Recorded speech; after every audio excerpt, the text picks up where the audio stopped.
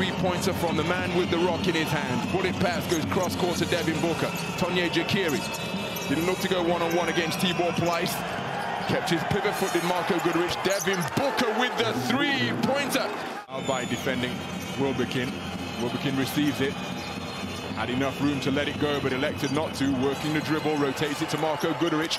Oh, tough bucket.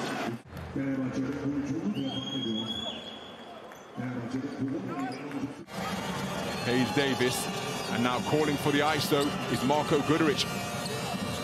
Working against Bugrahan Tuncer, pull up three-pointer, and he fancied that matchup from the get. Scored back-to-back three-pointers to take his team from a three-point deficit to a three.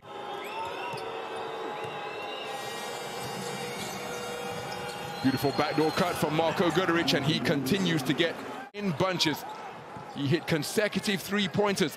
Eight steals per night came down hard on that one, and Ahmed Tambai, you heard him roar as he got the shot away and got the finish to go off the window. Nine points in the game as the three-pointer drain. So Guduric off the feed from night from three-point territory on the free throw line. It's a two-score game. His team down by six. Guduric rotates it to Carson Edwards from the sideline. Short on the shot. Dogus Balbay runs it down. Terrific interception by Marko Guduric. So intelligent play from Vasilije Micic to ensure that it's not a shooting foul, which would send Motley to the free throw line. Guduric catches the shooter. That gets Elijah Bryant in here. They find Motley. Pump fake up strong and a finish. Terrific play. How about that for a feed from Guduric going between the legs of Bryant?